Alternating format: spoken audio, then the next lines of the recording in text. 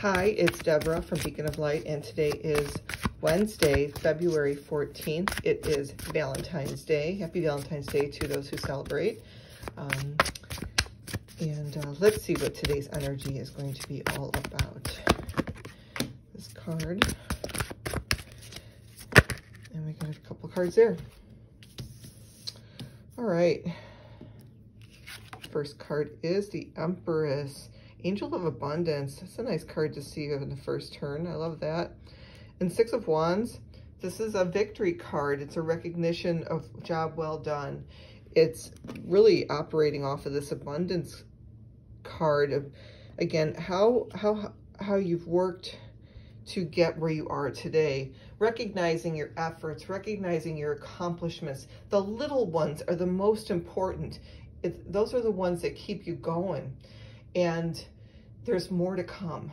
So be in appreciation for all the abundance you currently have in your life and yet to come into your life because it's on its way. You are being recognized for your hard work and your efforts. The universe sees it.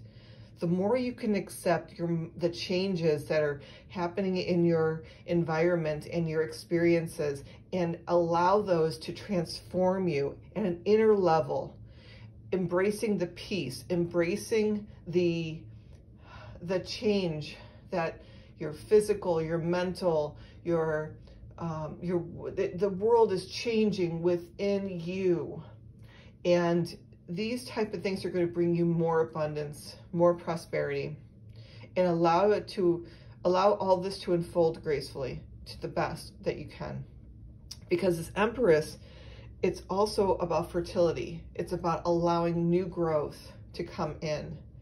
We're heading into springtime here real soon, next couple months, and I'm looking forward to it.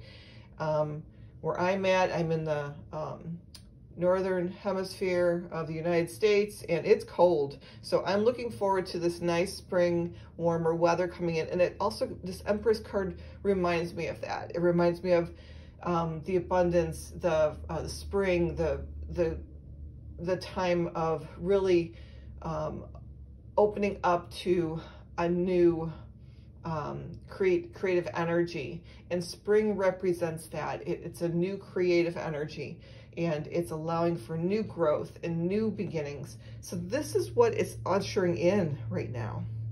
Now the Seven of Cups here, choices, this could be where we are making new choices for ourselves.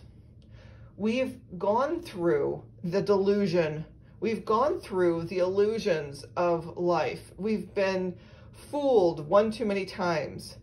And those things we just don't forget. But we can forgive those things and we can make better choices for ourselves.